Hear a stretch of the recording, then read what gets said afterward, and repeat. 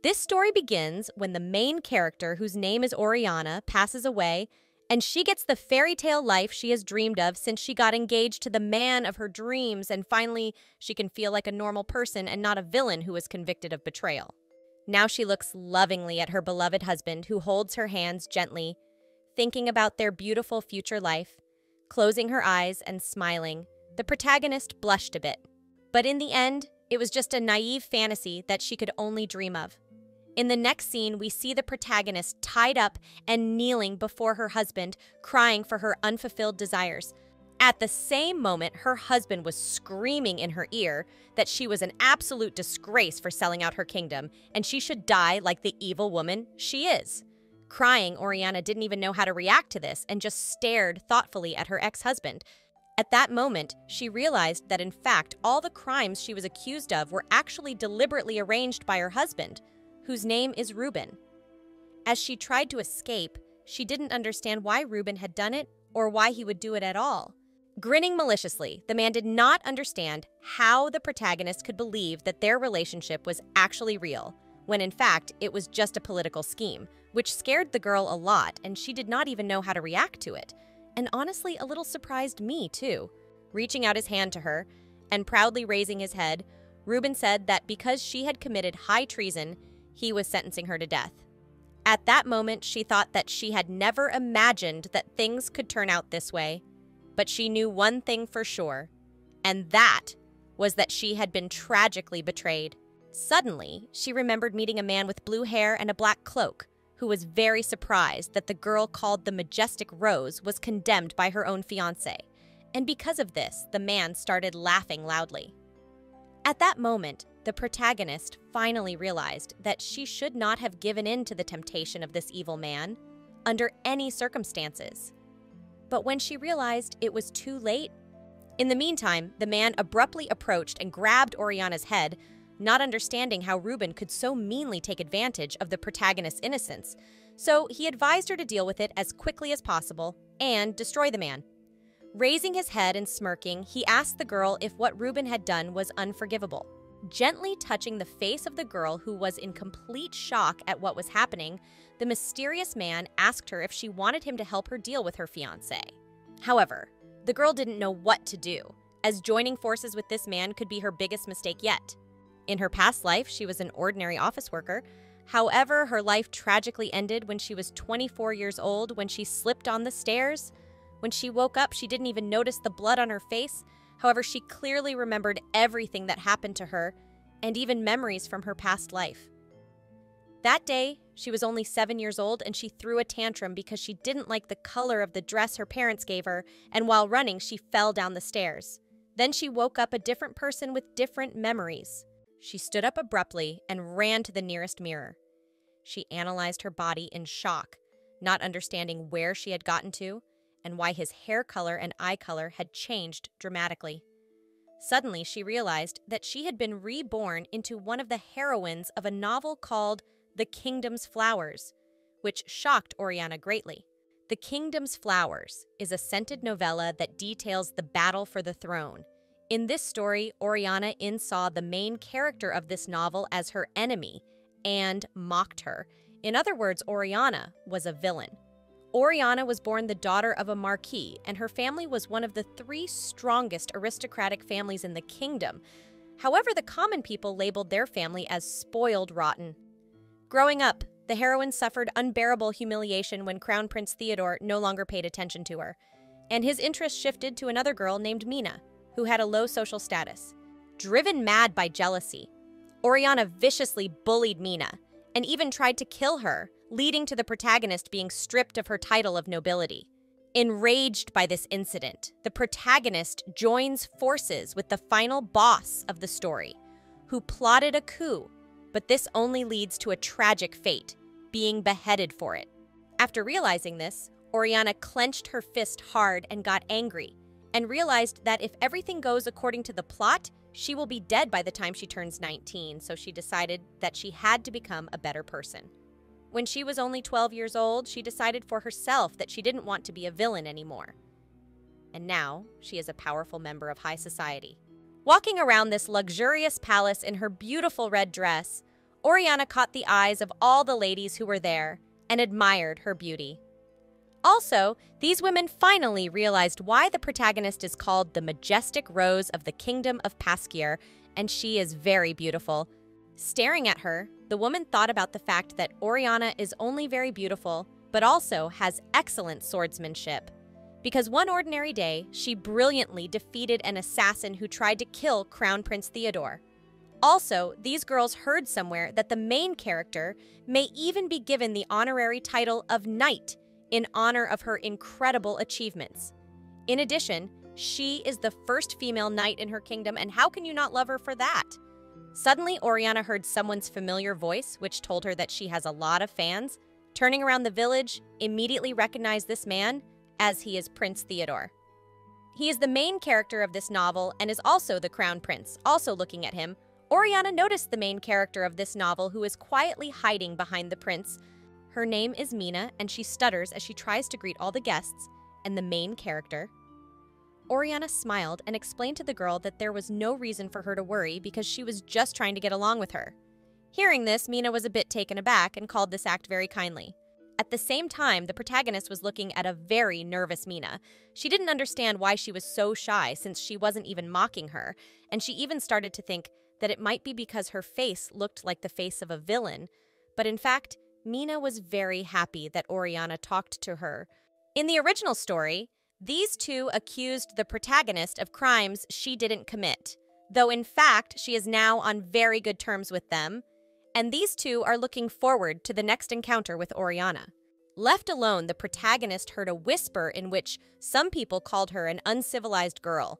This may be due to the fact that at that moment she stood out a lot, and from this she charged disapproval of a certain group of nobles. However, she cannot do anything about it because in the life of a nobleman it always happens. Meanwhile, two noblewomen were talking to each other. However, one of them got embarrassed for some reason, which surprised one of the noblewomen a little. And she asked what was wrong, but the girl who was embarrassed said that everything was fine and she should not worry about it. The protagonist smirkingly rejoiced that her operation called Becoming a Normal Person is going smoothly. Abruptly, she began to worry and immediately remembered the face of the man with whom, if she joined forces, she would make a terrible mistake, so she should avoid him by all means. Suddenly, she turned around and saw someone, and she immediately realized who it was. This man turned out to be Prince Dylan. He hasn't shown his face in public for years, and the main character heard somewhere that he is now the lord of the border town of La Spade. He is also the older half brother of Theodore. In addition, this man is the final boss of the story and a terrible villain who is willing to do the most cruel things imaginable without even blinking an eye, and all to deal with the prince and the heroine. In addition, it is he who leads the protagonist to death after she was condemned. As Oriana pondered, she heard the other nobles discussing Dylan, saying that they did not understand how he could come here when his younger brother had taken away his rights to the throne even though Theodore had commoner blood. In addition, Dylan takes out his frustration by being in a border town and melting and killing those soldiers who invade the kingdom, causing even the rivers of L'Espade to turn red for the blood of those soldiers. This really scares all the nobles, and they didn't even know that Dylan is such a cruel man. Also, the nobles realize that if he wasn't so bloodthirsty, they would want him to become emperor, Plus, they heard other people saying that he was behind the attempted assassination of Theodore. Upon hearing this, the protagonist quietly called these nobles the dogs of the king's specialty. She also thinks that this cynical nobleman and bloodthirsty madman is very lucky to have been born into the family of an emperor. And although his last name is not associated with the younger prince, he is assigned it because of his history. Prince Theodore's mother was a common commoner and became the object of the prince's affection, so he broke off his engagement to Dylan's mother and challenged the other nobles to marry commoners. As soon as she became a princess, she immediately gave birth to Prince Theodore. However, she passed away shortly after. The king, unable to bear it, married his former bride, who was Dylan's mother, and made her the new queen. However, when everyone found out that Dylan's mother gave birth to him and grew up in seclusion, the king was greatly shocked. Because the king loved Theodore's mother so much, he decided to name him his heir and first in line to the throne. Soon after the king became too narcissistic, even though Dylan was the first prince, he continued to be mistreated. So because of his hatred for the king, Dylan decided to overthrow him, which led many characters in this story to die. Thus, Dylan this stories.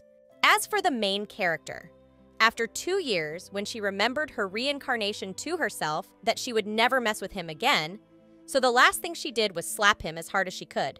In addition, she will never forget the tea party that happened that day. Namely, that day Prince Theodore accidentally fell into the lake, and because he couldn't swim, he screamed for help, which shocked the main character a lot. She turned around and asked Dylan to help the prince, but he said no in a calm and cold blooded voice, even though she begged him to. Touching his face and smirking, the boy replied that if Theodore died, he would be the next king, and nothing would give him more pleasure.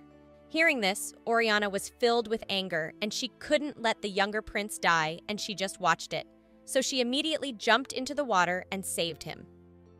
When she came out of the water, she immediately hit Dylan hard, yelling at him that she had had enough of his stupid jokes, and letting her own brother die in front of him is pathetic even for him. Also, the girl doesn't understand who in their right mind would swear loyalty to a man like him. The girl turned around and said that Dylan really wasn't worthy to be the next king, and he didn't even have the qualities of a good king, so after what he had just done, she would never be able to accept him again.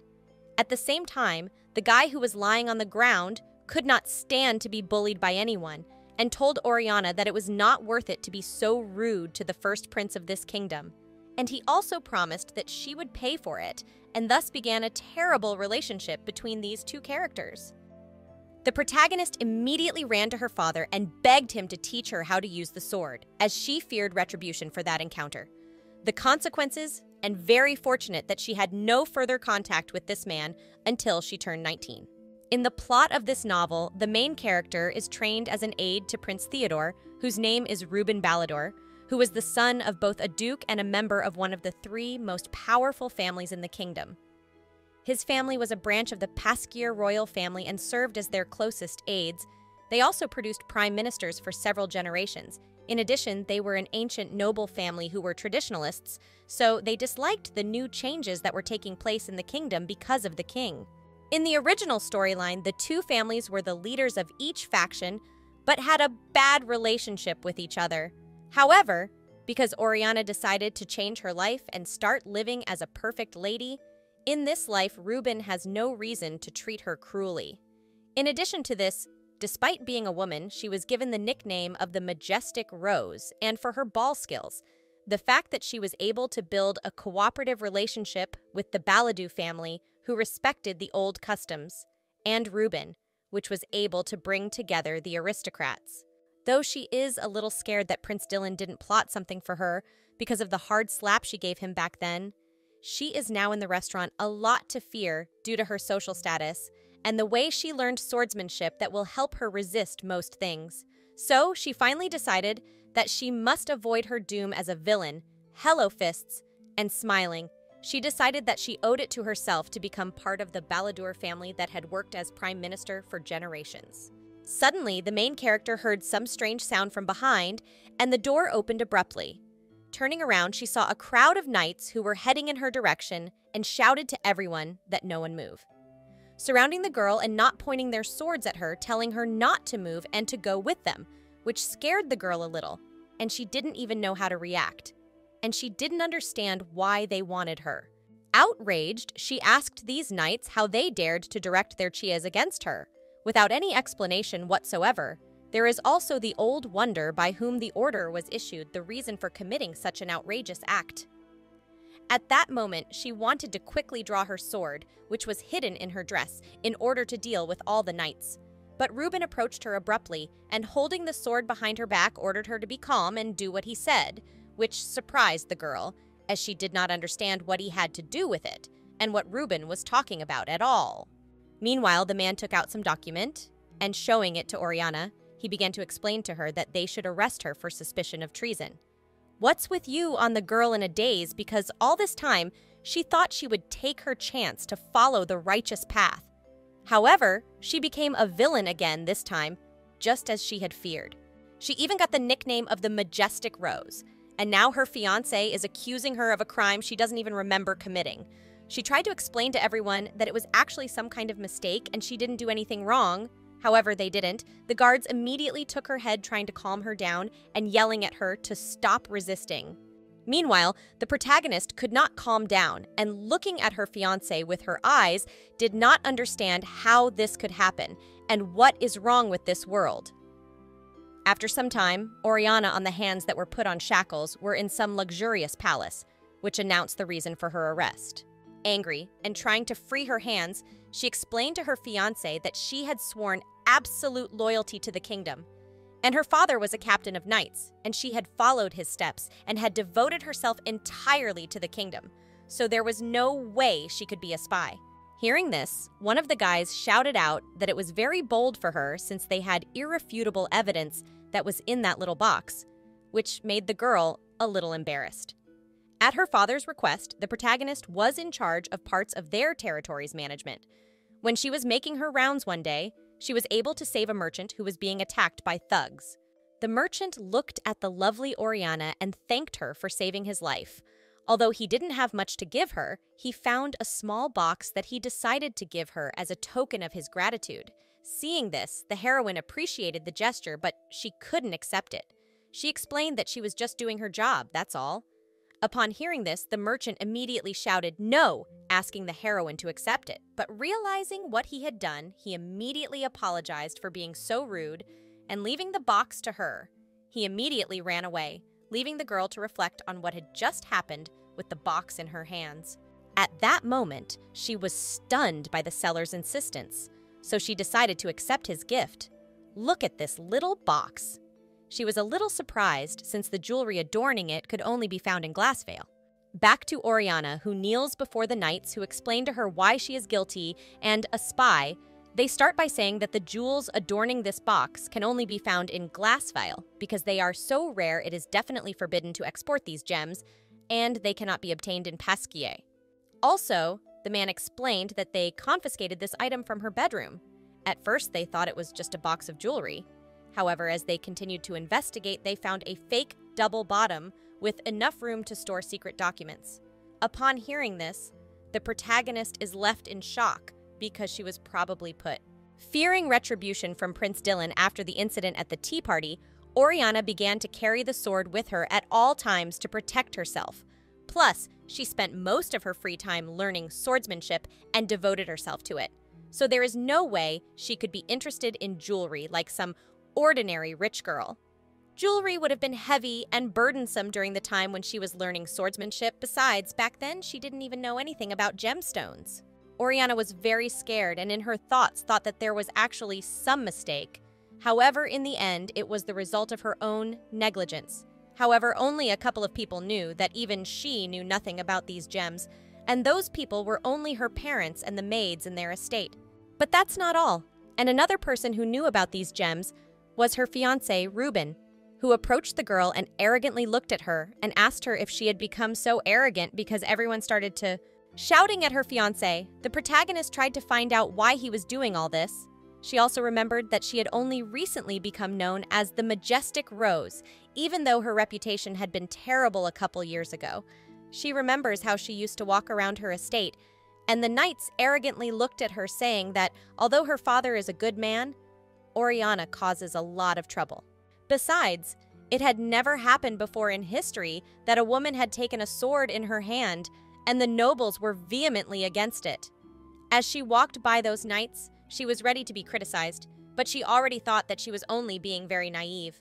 Suddenly, the heroine stopped and heard a man add that they had heard somewhere from a man who had danced with her that holding her hands was like holding a man's hands, because her hands were very masculine and rough, and they thought it was very demeaning for a girl like her to do that. Suddenly, the protagonist heard a familiar voice. It was Reuben, who sharply approached the knights and began to explain to them that although they think that Oriana is strange, they will never defeat her. Turning around, the heroine immediately called the guy by name, to which the guy replied that she is the one who chose this path, so she does not need to turn away from him, then turning around, the man immediately left, saying that there is nothing more shameful, which slightly shocked the girl. Because Ruben was a traditionalist, he was probably against the protagonist learning fencing, but he did recognize her efforts. Back to Oriana kneeling in front of her fiance in complete misunderstanding. I mean that all this time she thought her fiance was different from the others. Meanwhile, Ruben smirkingly explained to the girl that he couldn't really understand how she could believe that their relationship was more than just a political scheme. Back the girl is really stupid. Also, the man stated that he was certainly going to break off the engagement soon. At that moment, the girl did not send thinking that she thought that they would support each other and be together for the rest of their lives. However, now she believes that there was most likely only one who dreamed about it. She stood up abruptly and shouted Ruben's name, unable to contain her emotions any longer. At that moment, Ruben advised the protagonist to calm down if she valued the lives of her parents. He also advised her not to do anything reckless as their lives were in her hands, which shocked the girl even more, and she asked him in a trembling voice what he was going to do to them. Then the man, slowly approaching the girl's ear, replied that she was a total disgrace explaining that she had sold her kingdom and simply had to die like the wicked woman she was. And so we come back to the moment from the beginning where Ruben points his hand at his former fiancée and accuses her of treason and sentences her to death. The royalists then issued a formal censure on the grounds of insufficient evidence, which led to all charges being dropped and the death penalty being dropped. But she was still sent to the abbey. Sitting behind bars, Oriana cried, thinking that during her life she had caused so much trouble to so many people, so she hated herself that she was spared. After all the charges were dropped, her parents also had to release her from custody. However, her mother and father were still under house arrest and surveillance, under the pretext that they were suspected of plotting a rebellion. Holding on to her dress, the heroine felt helpless and cowardly, but there was nothing she could do about the situation and her parents believed in her and used everything they could to clear her name, which shows how they weren't worried about not being able to hold on to their positions. Oriana began to remember those wonderful moments when her parents gave her gifts, namely, one of the days they gave her a beautiful sword that immediately liked the heroine. The sympathetic mother bowed her head down and said that she had actually planned to convince the protagonist to give up fencing because she thought that the girl could not do it. But after seeing the persistence and determination of the protagonist, the mother could not let it go and decided to accept her as she was. She also added that her daughter was becoming more beautiful and stronger every day, so she decided to support her. Also, her parents are sure that now she will be able to protect herself and a lot of other innocent lives. Remembering this, the protagonist could not hold back her tears and became even more upset Suddenly raising her head, she saw two knights who ordered her to get up as it was time to take her to the abbey. Coming out of her dungeon, the protagonist was forced to listen to the giggles and whispers of people who looked at her and did not understand how such a shabby girl can have the nickname of the Majestic Rose and generally be from high society. Now they thought that her reputation to sing not on the blood, and it would be better to call her a bloody rose, with which the rest of the nobles agreed. Among those nobles was the fiancé of Prince Theodore, who could not calmly look at how the oil girl was taken away to some unknown place. She was forced to watch how these cruel knights forced the heroine to sit in some unknown carriage under the river of angry commoners who threw at her everything that was at hand, her different words. They also said that they believed in her calling her majestic as they all believed in her. However, they now regretted because they praised her without even knowing how bad a person she was. The guards tried to protect her from the angry crowd of people shouting at them to stay away, or they would be imprisoned with her. At the same time, Oriana not only fell from grace, but also tarnished the good name of her parents and the entire Emanuel family. Angry, she realized that still she cannot do anything. After a while, the heroine was already in a carriage that took her to some unknown direction, the driver told the girl that ahead of them they are waiting for a rough road, so if she feels bad, she should notify the driver. In fact, the driver was a nice old man with white hair, and he seemed very kind to the girl. Bowing her head down, the heroine realized that even though she had lost her status and reputation, she still had her hands full. Plus, she wasn't quite sure what Reuben was going to do, but the honor of the Emanuel family, as well as the defenders of the kingdom, was at stake. So the heroine promised herself that she wouldn't let such an injustice go unpunished. Suddenly, in front of the carriage appeared some unknown man in a black cloak with some iron whip, which pointed immediately at the carriage of the heroes, because of which their carriage immediately turned over. After gathering her strength and crawling out of the overturned carriage, Oriana was completely bewildered and did not understand what had just happened and why the carriage had overturned at all. In a second, she was immediately surrounded by three unknown men in black cloaks who were happy that the majestic Rose had invented you. They also immediately apologized for such rude treatment, explaining that many people do not stop if you just ask them to stop. One of these unknown saviors was some man with black blonde hair and large scars all over his body who looked at the heroine with a puzzled look who asked them who they were. Bowing his head and exhaling, the man smirked and asked the girl if she would recognize who he was, if he explained to her that her fiance had actually put him up to it, which shocked the girl and even scared her. After a second, the man sharply approached the protagonist and, gently touching her body, said that his orders were to go and deal with this stubborn, majestic Rose so that she could never get up again. However, the heroine could not tolerate such an attitude and immediately gave a powerful slap to this scoundrel that he should not dare to touch her.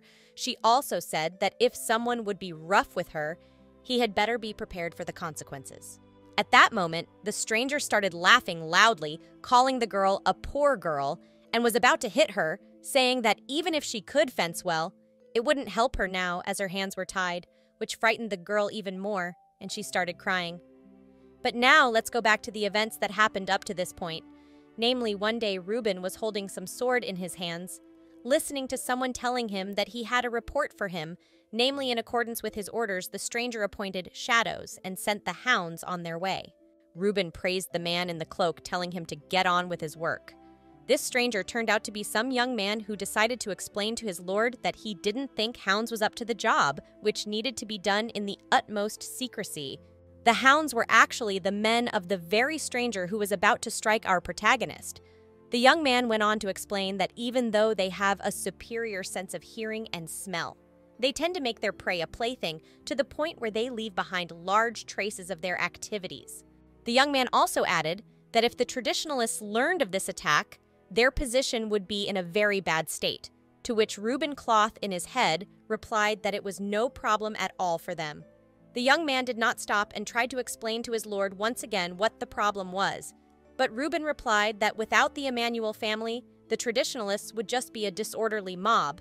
Also, Crown Prince Theodore would no longer be able to command the remaining forces, which would make them very easy to manipulate. Reuben also stated that the only problem they may face is that man, and now he's probably referring to Dylan. However, the only thing he's happy about is that he's staying out of politics for now, so it's safest to leave the main character useless for now, and that's why he's still holding on to hounds. Now back to Oriana, who kneels before the man with the huge scars and remembers her fiance telling her all this, but her heart has a hard time accepting it all. Her engagement to Reuben was arranged by the king himself to smooth over the differences between their families. And their families were not at all happy about being forced to marry. Also, the protagonist's parents advised her to avoid interfering in his affairs as much as possible, and neither of them were happy about it. Their relationship was just to create the appearance. However, their relationship was bad from the beginning, and when they first got married, her fiance always helped her and understood her feelings. One day, when Oriana was standing quietly next to some tree, all the other two of them started laughing at her, saying that she shouldn't be fencing, and only Reuben was able to get her out of that situation by taking her hands and starting to walk away from that place. Upon seeing this, the protagonist was immediately frightened, explaining to her fiance that if his father saw him holding her hand, he would be very angry. At that moment, Oriana realized that she was actually a weak willed, fragile human being and if she had lived her life alone, she would have ruined it long ago. Kept her fiance just wanted to become as strong and noble as he was. She admired him, and all she wanted to do was help him, so she dedicated her whole heart to him. Taking his blade in his hands, the mysterious man was about to deal with our heroine, saying that she looked very good, and he was sorry at times like this that his eyesight was so bad. It was rumored that the Balladur family, who had no military qualities, hired a private army they called Shadows, who were children they raised as infants to do the dirty work they could not reveal publicly. The man laughingly stated that the main character walks around looking menacing. She is just a horrible, quiet little lady. Oriana couldn't take any more mockery of herself, so she sharply struck this rascal right in the woods, and the blow was so strong that his blade fell out of his hands. The girl then started beating the rascal until he fell to the ground, which left the other men shocked as well. Oriana could not just stand by and watch, especially when she was betrayed and made a laughing stock. The girl immediately started running away from the men, but they saw and realized what had just happened and started chasing after her. However, the scarred man immediately stopped them and said that if anyone allowed her to be touched, he would immediately pay for it, as it was his prey. Laughing evilly, he started to like it as he thinks that this is how hunting should be. He also gave our heroine 10 seconds to escape as far as possible. Meanwhile, Oriana was running as hard as she could and realized that there was no way she could outrun him, so she decided on a different strategy. The scarred man explored the forest hoping to find the girl, but he couldn't find her, even by following the path she was running, so he thought she had decided to give up running and play hide and seek after all. In the other noticed something strange behind a tree very similar to her dress, so he immediately thought that she was hiding there. But looking, he realized that in fact it was just a stick stuck in the ground on which was part of her dress. Suddenly, our heroine appeared behind the man with a blade in her hands and immediately threw the wood at him, preparing to deal with him once and for all. However, he is as weak as she initially thought and sharply turned around and grabbed Oriana by the throat. Laughing, the man started calling the girl a laughing stock because her plan didn't work. He also explained to her that he could hear her heartbeat from a mile away. Meanwhile, the heroine, who realized that her plan had worked, didn't even know what to do. Also, because the man was holding her legs, she couldn't attack him like she had done before, so she didn't even know what to do. Approaching the frightened girl, the man stated that she had good skin and a nice voice. Also, he liked her fighting spirit so he would have a lot of fun playing with her. The heroine was about to say something to him, but the man interrupted her, saying that she shouldn't be scared because he wasn't going to kill her or do anything bad to her. Laughing wickedly, he added that all he was going to do was attack her, torture her, and rape her until her mind was destroyed. His cruel hands began to slide down her leg, lifting her dress as the girl listened to the two of them having a lot of fun. Oriana tried to get out of his grip, but she couldn't, and all she wanted was for her hands not to be tied. Suddenly, there was a loud sound that made the man immediately start holding his head because his ears were hurting. As it turned out, it was a gunshot. Looking in the direction of the protagonist, saw some mysterious man in a raincoat, which was heading to the villain to deal with it. As it turned out, it was Dylan who came to Oriana's rescue and immediately started fighting after a couple of seconds as he appeared. He immediately drove his blade into the villain's back and whispered in his ear that he was ashamed that he had interfered at the worst possible moment and he himself had business with the lady. Then he finally dealt with the scoundrel and had a wonderful time in hell. Looking at our heroine Dylan, that right now she looks like a very fragile girl also, he wondered where is her courage that she had when she slapped him hard. Meanwhile, Oriana, looking at her savior, didn't understand what he was doing here now. Also, the girl was very happy that she was finally saved, and she started to think that if this is really her destiny, then the gods must be really cruel. When he approached the girl, the man immediately greeted her and asked her how she was doing. He also started touching her body gently and called her poor thing. At that moment, Oriana did not understand what to do, as Dylan is the main villain of the story. He put his hand on the girl's face and asked her how Reuben dared to take advantage of her loyalty. Looking her savior straight in the eyes, the protagonist realized that she should never give in to this temptation. Dylan gently touched the girl's face and offered to help her deal with her already fiance. If she wanted to, of course. Dylan immediately began to help the girl get her hands out of the shackles, since he had the key. He also believed that the shadows felt that the certainty that they would deal with her was greater than the certainty that they would let her go free, and he added that reinforcements were on their way. At the same time, Dylan came here with his subordinate, who was fighting the rest of the mercenaries right now and keeping them busy. Smiling, the man asked the girl if she had finally realized what a stupid decision it was. He also realizes that she is probably very afraid of him right now. But if she wants to have any chance of survival, she needs to trust him and join forces with him. In addition, while Dylan was looking for the key to her handcuffs, luckily he found her sword, so he wondered if the girl still knew how to fight.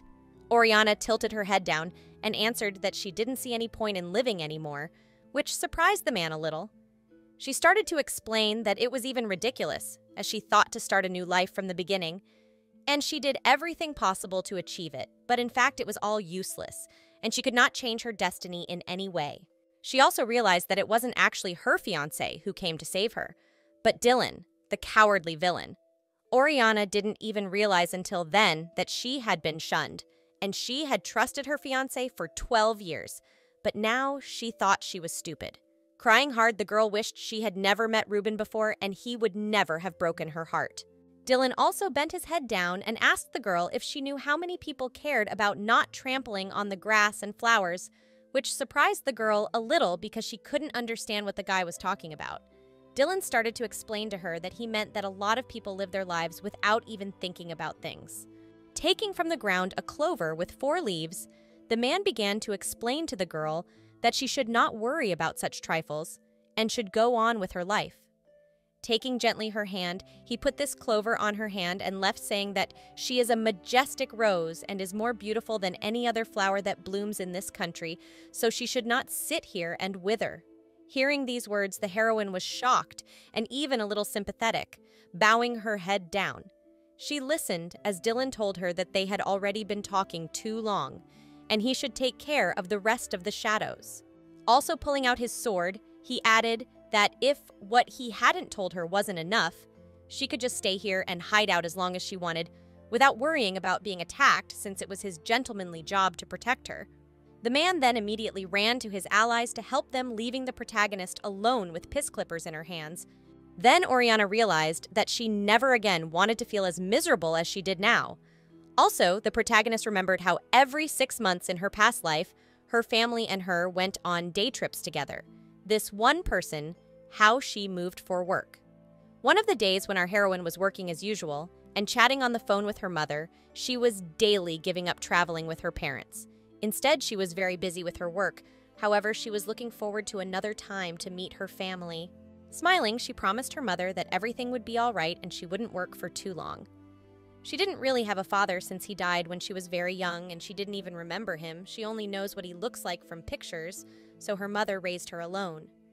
In addition, once she graduated from high school, her brother worked hard to pay for her college tuition. The brother was thrilled that his sister was able to get a good job, so happy that someone thought he was the one who got the job. He also gave her a fountain pen as a congratulatory gift. Crossing her arms, Oriana remembered how, some time ago, she was in the office of her boss who was yelling at his subordinates, telling them that they should manage this project better, because of which our heroine had to apologize. Although she was lucky to get out of there without any trouble, she thinks that she really should apologize to her colleague because she was the reason why they were yelled at because she didn't prepare the documents properly. When she arrived home in the evening, she was a little surprised to see that her brother's car wasn't there, which was a little strange since he should be home by now. When she took out her phone, she saw a message from him telling her to come to her mother's house when she was done with work. Sometime later, the police contacted our village and informed her that her mother and brother's car had been hit by falling rocks, leaving the girl in complete shock. Although she thinks it was an accident and just bad luck, she assumes that if she had been traveling with them, this would not have happened. After a while, go back to work, Heroine met her coworkers who started to bully her and throw away her documents, say that she will not even say a word about it, so they should not worry, which was very cruel. Oriana couldn't hold back her emotions and pushed one of her colleagues, crying hard at the same time.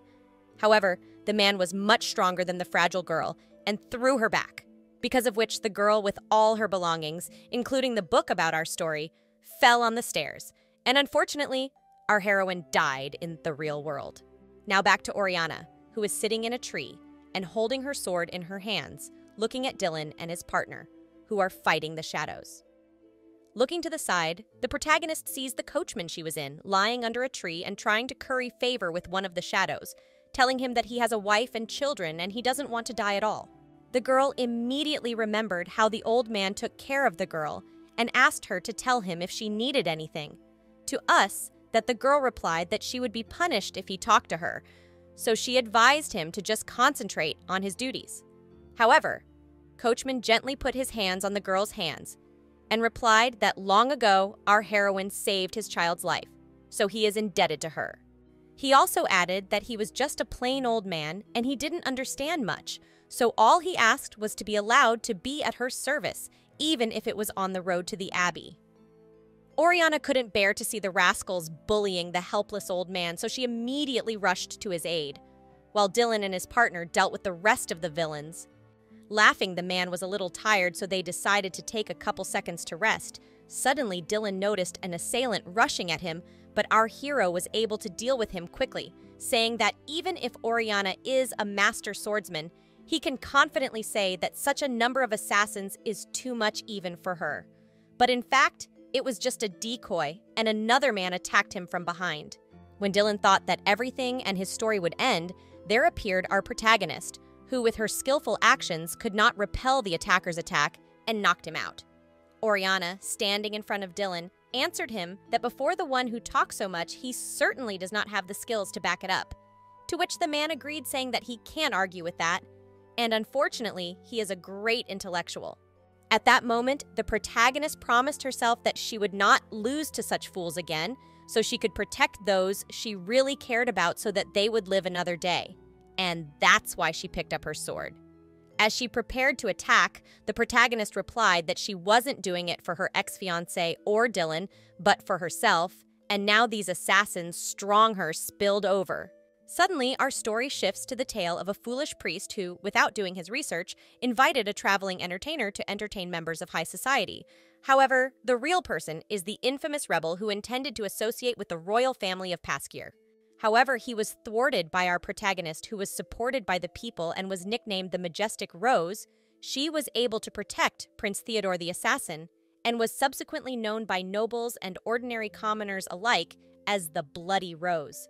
However, there was one well hidden fact there was actually not just one assassin disguised as a traveling artist, but a whole group of 23 people, and Oriana was able to deal with all of these alone. Then, with a smile on her face and drenched in blood, she asked if everyone was okay, and that's where her nickname came from. Meanwhile, the man with a look of surprise on his face looked at our heroine, who was using all her swordsmanship skills to deal with all the assassins without giving them a chance to win. She was shining with fire, proudly blooming in all her crimson splendor. Dylan, trembling, couldn't even imagine that our heroine was so magnificent, and now he actually recognized who she was. Standing in front of the lying assassins, covered in blood, Oriana realized that none of the assassins had trained well enough, so she advised them to come with the whole army the next time they tried to take her life. Meanwhile, Dylan was just shocked by what he saw and began to remember moments from his childhood where the main character was just as arrogantly gorgeous. He began to shiver even more and even sweat a little, calling her feet amazing. Meanwhile, Oriana, in her bloody dress, approached the coachman and offered to help him up, to which the shy old man immediately agreed and thanked the girl. Dylan, looking at all this, could not but praise the girl and immediately said that he had certainly underestimated her. He also added that for a moment, he wasn't sure what was going to happen. But the man now believed that the heroine could really live up to her reputation. Suddenly, Oriana immediately pointed her sword at the man, which scared him a bit. But the prince, shading to his ball, replied that she should not raise her sword at the prince. Also, he thinks that the protagonist does not fully understand what it could mean. However, Oriana angrily replied that she is not angry at him as a prince, she sits on him as a person. Clutching her blood sword, she added that she is very grateful that he saved her, but she does not approve of the way the prince uses people as his pawns. Hearing this, Dylan approaching the girl and gently touching her chin, replied that in that case, she should continue to protect them as she had just done, which left the girl a bit stunned. Smiling, the prince added that he wasn't going to stop her from saving anyone. Stop! And that's the only reason she needed her sword. Upon hearing this, everything happened just as the protagonist had envisioned. Namely, the prince deliberately left the coachman to be attacked in order to light a fire in her. Shouting at the prince, Oriana was highly displeased that the prince did not value the lives of ordinary people at all, at the same time as the old man tried to stop the lady. Dylan raised his hand and immediately replied that if the protagonist didn't approve of his behavior, he thought it would be more comfortable for her to stay by his side, adding that if the heroine would watch herself, there would certainly be fewer victims, which left the girl even more stunned. She didn't even know how to respond to that. She didn't understand the logic behind it, and his petty attitude pissed her off every time. She tried to explain to Dylan that she was just trying to convince him to stop putting people in danger. Suddenly, looking in the direction of the heroine, immediately saw the partner who held the coachman hostage, pointing his sword in his direction. She was very frightened by this and immediately tried to stop him, but not even having time to approach the old man, Dylan, was for her ready to immediately cut off her head. Laughing, he stated that the girl should not have taken her eyes off her target. He also added that he didn't mind stripping her when you for betraying her and dealing with the old man to silence him right here and now. However, the reasons he hasn't done it yet is because he wants to see how the bloody rose was made for himself. He whispered softly in the girl's ear that he adored obedient creatures, so he'd like to hear a rapturous response from her. In that moment of reflection, the protagonist decided to herself that she had no intentions of doing anything, and she wanted to know how rotten this Dylan could be. And all she did was call him a scumbag. Hearing this, the man immediately began to smile, saying that he was honored to hear such a compliment from her, and standing in front of her, he said that though she might think him a bastard, he thought that he and she were very compatible, which surprised the girl even more, and she began to think that she had no ethics or morals. Pressing the girl against him and touching her sword and face, the prince promised her that he would make her a majestic rose, that she would bloom more beautifully than anyone else. Oriana was a little surprised by his actions, but she perfectly understood that if she joined forces with him, there could become her own. But of course, she realizes that she needs his strength in order to punish Reuben. Suddenly, the heroine grabbed Dylan by the tie, which surprised the guy a bit. He was explaining to her that his level of obedience would depend on her behavior. The girl replied that a rose can't choose who gets pierced by thorns, so she advised him to be careful not to be enchanted by them. Hearing this, the prince immediately started laughing loudly, saying that it scared him a lot, which made the girl even more angry. Suddenly, the man put his hand on the girl's face and replied that he had long been enchanted and he would be honored to be killed by her, which left the girl in a complete stupor, and she did not even know how to respond. After a little thinking, she asked the prince to stop teasing her, which made Dylan laugh even more, and he said that now their problem was solved, and after all, he was the greatest. Back to the old man, our hero asked him to take them back to the mansion, adding that he would pay him well for it, which the coachman could not but agree to. At the same time, Oriana was a little surprised by the prince's politeness, and she couldn't understand why he hadn't acted that way from the beginning. Confused, as the girl expected from a destroyer prince, his audacity is unprecedented. She also accepted the fact that if her destiny is to be destroyed, she is not ready to accept it. Proudly raising her head up, she finally accepted the fact that from now on she too is a villain, and she will destroy anyone who gets in her way. Now, the actions of our story are transferred to the next day, where our heroine is in some luxurious palace, where Dylan, showing his hand, asked the girl to come in and not to be shy. At that moment, Dylan perfectly realized that he took full control over the situation, but she had no other choice. When she entered the room, she was immediately met by two maids, whose names were Sierra and Roca, and they were twins. When the protagonist looked at them, she immediately realized that they were twin maids, and in the original story, they were assassins. Oriana started to get worried and even assumed that the prince was planning this all on purpose using these maids to deal with her. While she was thinking about how to prevent her demise, Dylan smilingly stated that the first thing they should do now was to deal with our heroine's appearance, which surprised her a bit. The man also said that the twins would take care of her, which scared the girl a little, as she didn't want the assassins to take care of her. Before she could even think it through, Dylan snatched the sword out of her hands and left, saying that she didn't need it for the time being. After a moment, Oriana was approached by one of the twins, who smilingly offered to show her the way. Following the maids, the protagonist realized that now she must stay calm, as the prince will get nothing if he ends her right now. Also, the heroine remembered how, in the original story, after she was executed, Prince Dylan uses her body to fertilize his garden, so if she is not extremely careful, this fate may await her as well. So she has to be on guard to be able to deal with anything she meets on her way. Also, she has promised herself that she will not let anyone deal with her so easily. Going into the bathroom, our he her immediately expected a hot bath with rose petals, which the maids specially prepared for her, which just surprised the girl. In addition, the maids treated her very well, that even more shocked her. Unable to calm down and relax, the heroine realized that she was expected with great anticipation. She also realized what she had to do, as she was not expecting absolute luxury. The heroine even began to slowly go crazy, thinking that it was actually a trap that the prince had prepared for her to let her guard down. After a while, when the maids were helping the heroine to put on a beautiful red dress, she asked one of the maids why the dress fit her like a glove. Roca, smiling, replied that she had been ordered to follow orders only and not to answer any questions other than inquiries, and she apologized to the girl. Hearing this, the heroine was a bit surprised as she realized that she had no choice but to wear this uncomfortable dress. Entering the room of the prince, the heroine immediately apologized to him for the fact that she took so long to dress up, to which the man replied that there was nothing wrong with it, and besides, she came even earlier than he expected. Dylan was also surprised by Oriana's beauty, and he couldn't take his eyes off of her. When she noticed this, the girl immediately started to feel uncomfortable and asked the man to stop staring at her and say something.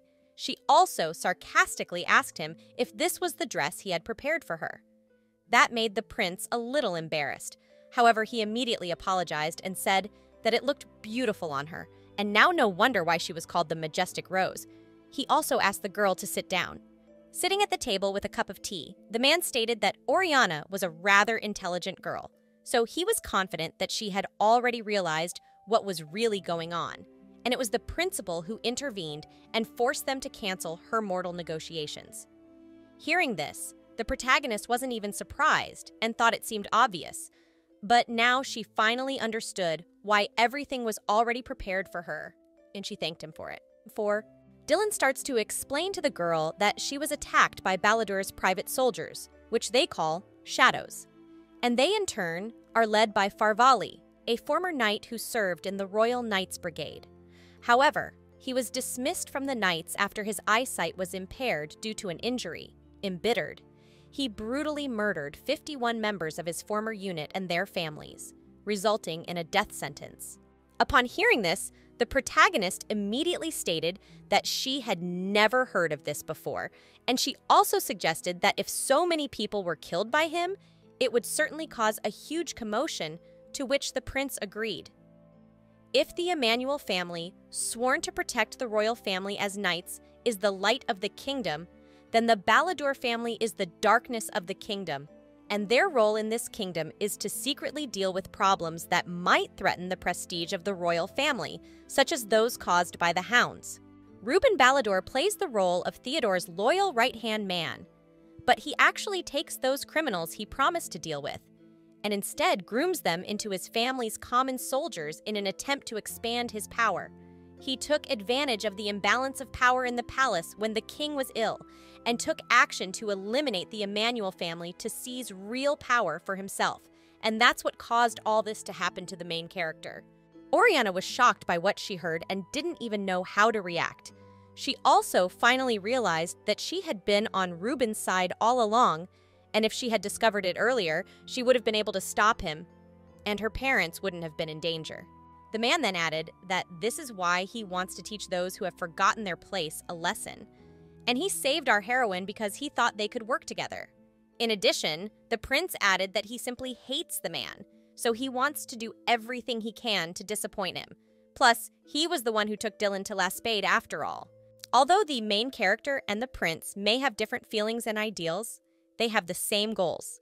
So, the prince thinks that the two of them will get along very well. Even though Prince Dylan was the oldest prince, he was conceived and born out of wedlock. Because Theodore was born to the queen, he was named the rightful heir, even though he was the second prince.